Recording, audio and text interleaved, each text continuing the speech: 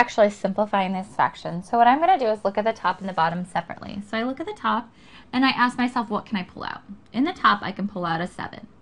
When I pull out a 7, I'm left with k minus 4. In the bottom, I have 20 minus 5k. So I ask myself, what can I pull out? I can pull out a 5. Therefore, I'm left with 4 minus k. Hmm. If we look here, we have k minus 4, 4 minus k. Notice they're opposites. When they are opposites, you can actually cross them off and put negative 1. Therefore, on top, I'm left with 7 times negative 1, which is negative 7. On the bottom, I'm just left with 5. So we get negative 7 over 5, which is C.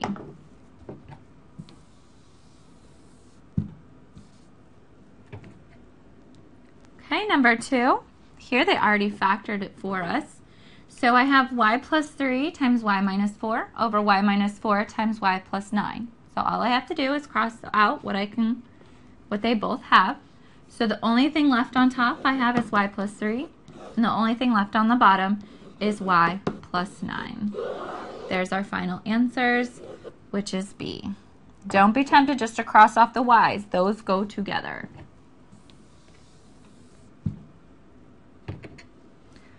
Okay, and lastly, number 3 here. We have 3x plus 2 over 12x squared plus 17x plus 6. So I look at the top. On the top, I cannot do anything there, so I'm going to leave that.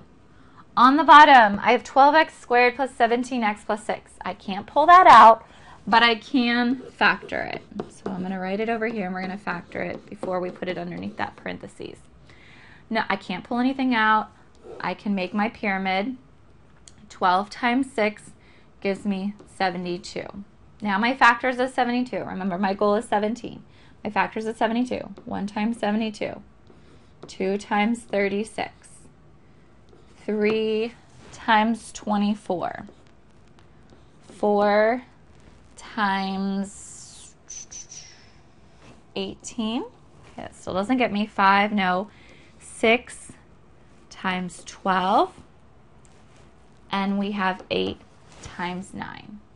Okay, my goal is to get a positive 17. The only way for me to get a positive 17 is an 8 and a 9. Positive 8, positive 9. So I'm going to factor this down into 12x squared plus 8x plus 9x.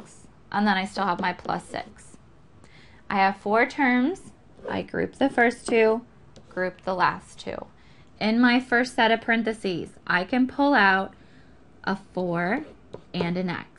When I pull out a 4 and an x, I'm left with 3x plus 2.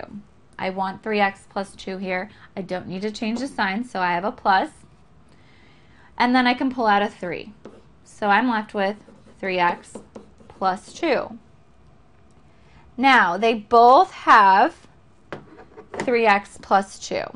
So now I can factor my 3x plus 2 here. So if I pull out the 3x plus 2, I'm left with 4x plus 3. So that's what's going on the bottom of this fraction.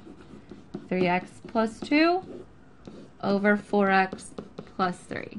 Okay, so now I look at the top and the bottom. They both have 3x plus 2, so I'm going to cross those off. Therefore, my final answer, if I cross everything off at the top, I'm left with 1. On the bottom, the only thing I'm left with is 4x plus 3. So we get the answer of 1 over 4x plus 3, which is choice C.